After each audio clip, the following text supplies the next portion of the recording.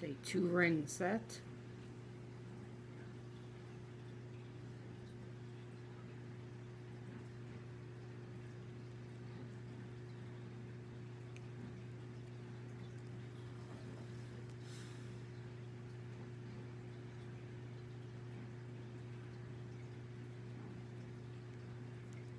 It was a velvet peach candle.